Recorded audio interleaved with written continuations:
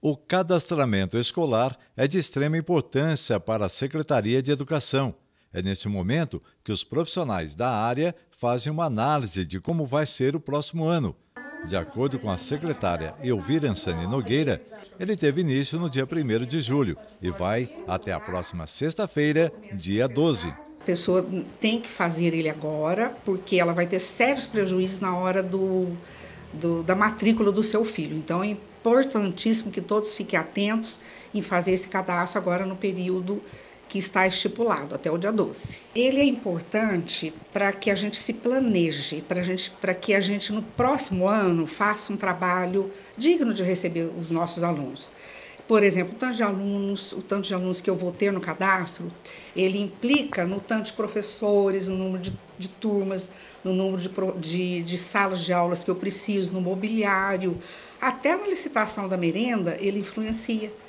Dependendo do número de alunos, eu preciso de mais ou de menos alimento, é, o transporte escolar também. Então, é uma, é uma logística importante que faz com que é, quando há um planejamento em cima do, que, do, dos, dos, do número de alunos que nós iremos receber, faz com que o nosso trabalho se torne de qualidade. Que, que, o atendimento do próximo ano, do ano vindouro, seja de qualidade para atender todas as crianças do nosso município.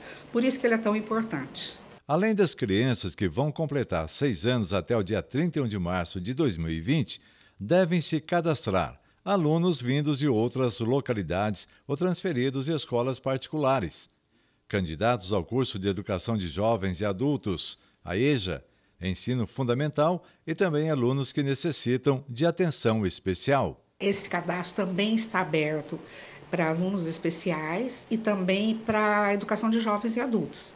Nós temos uma, uma escola aqui em Andradas, que é na Escola Estadual Daniel Ribeiro Moge, na Vila Leandro, que oferece vagas da EJA para alunos que queiram estudar à noite.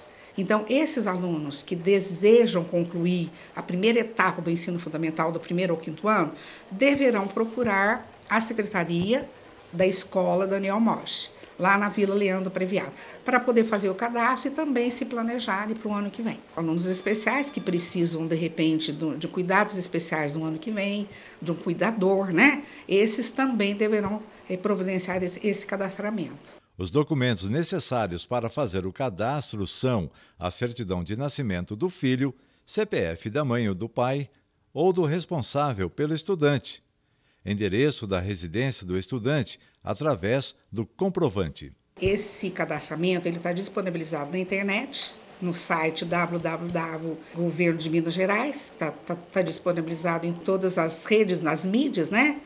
E agora, quem não tiver acesso à internet, pode nos procurar. Pode vir aqui na, na, na Secretaria de Educação, nós estaremos atendendo esse, esse pessoal que não tem acesso à internet, executando, fechando o cadastro desses filhos, né, desses alunos.